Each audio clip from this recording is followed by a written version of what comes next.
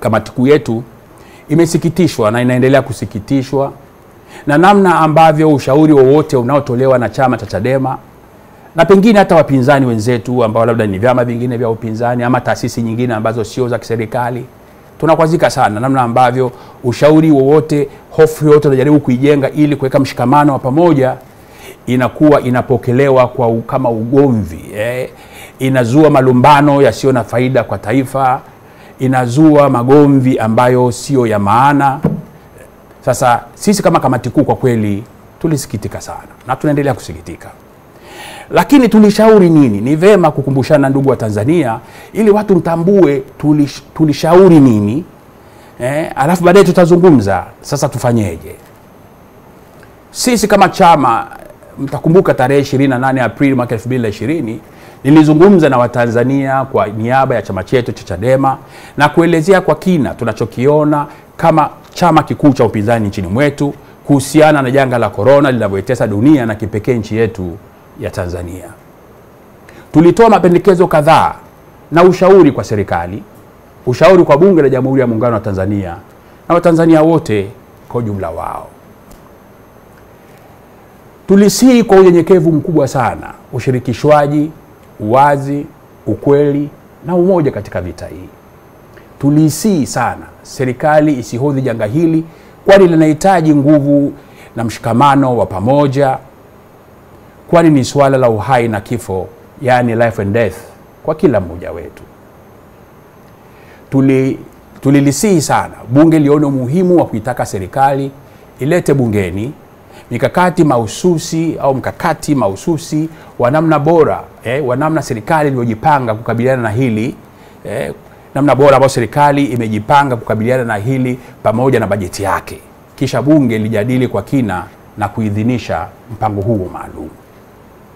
Ndugu wa Tanzania, tulihoji kama ni sahihi kwa kweli kuendelea na vikao vya bunge bila kwanza mm, bila kwanza ku, kuona kama athari za kiuchumi ambazo zinatokana na janga hili ziko kwa kiwango kipi. Eh, tulisisitiza umuhimu wa utengamano na ushirika eh, na ushirika na mataifa mengine ya Afrika Mashariki eh, East African Community, SADC, African Union eh, pamoja na nchi nyingine zilizo washirika wetu wa maendeleo. Tulishauri mkakati makini wa kufanya mashauriano na mashirika ya fedha duniani kama World Bank, International Monetary Fund na mashirika na taasisi za kimataifa kama CDC, Center for Disease Control, Global Fund, eh, Bill Gates Foundation na mengine mengi yanayoweza kutusaidia kuipunguzia serikali mzigo wa kubeba gharama za janga hili. Tulisihi sana kuheshimu maelekezo na itifaki za shirika la afya duniani, yani WHO, World Health Organization. Hii ni pamoja na njia zilizo bora zaidi za kupima na kuhudumia waathirika. Tulisihi kuwepo kwa mpango wa wazi na wasalama wa mazishi yenye staha kwa wenzetu watakaopoteza maisha na kutangulia mbele za haki. Tulisihi mkakati wa haraka na wa makusudi kuwakinga wapiganaji walio mstari wa mbele, tukimaanisha madaktari, wauguzi na wahudumu wote katika huduma za afya wa hospitali za umma na za binafsi kwa kuwapatia PPE na motisha. Na hili nilisisitize kwa sababu linagusa kwa kweli maisha ya watu, kwamba tunapotaka kupambana na janga hatuwezi tukaanza kutenga wahudumu wetu wa afya wa sekta ya umma na sekta ya binafsi. Hawa wote wana majukumu ya kufanya kwa katika kuokoa maisha ya watu wetu. Kwa hiyo lazima tutambue hili, hii ni kada muhimu eh, ya wataalamu wetu, lazima tujaribu kuilinda kwa kweli kwa njia kwa njia mbalimbali. Tuli, tulisisitiza sana umuhimu wa kupima kwa haraka na kwa upana zaidi ili waathirika waweze kujulikana na wakishajulikana watenge kwa njia muhimu za kama njia muhimu ya kupunguza maambukizi. Tuliamini katika kujifunza kwa wenzetu yale yanayoweza kuwa ya msaada katika mazingira yetu ya Kitanzania.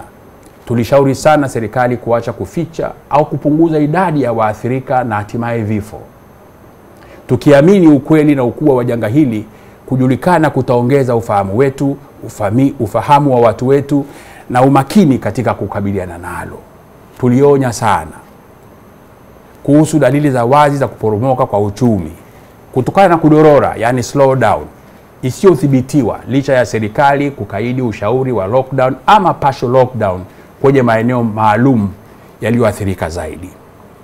Tulikumbusha Tanzania wote kuwa mstari wa kwanza wa mtu yeyote kujikinga ni yeye mwenyewe, ni matendo na mienendo yetu katika maisha yetu ya kila siku ndio ambao utakuwa mstari wa kwanza wa kujikinga. Tulisisitiza na elimu na kampeni kubwa ya ufahamu na uelewa, na tulionya kuwa tunaona kuna ufa mpano, ufa mpana unaoelekea eh, kuparaganyisha taifa letu kama hatutaweka utawe, utaifa wetu mbele, kwamba katika kupambana na madhila yanayotuzunguka kama tukianza kubishana zaidi kwenye vyombo vya habari na vitu kama hivyo, inawezekana kwa kweli kwa kiwango fulani tukaanza kutengeneza mpasuko ambao pengine sisi kwa unyenyekevu mkubwa tunaona hatustahili kuuendekeza, na tunaomba wenzetu wote wahusika watuelewe, watuelewe hivyo. Naam, tulilazimika kusema na kutoa ushauri huu hadharani. Kwa kweli wakati ule tarehe 28 tulilazimika kutoa ushauri huu hadharani baada ya juhudi zetu za ndani kupitia kamati mbalimbali mbali za bunge na mawasiliano eh, ya moja kwa moja kati ya, kwa, kati ya viongozi wa bunge na serikali kuonekana kupuuzwa pengine au kutokupewa uzito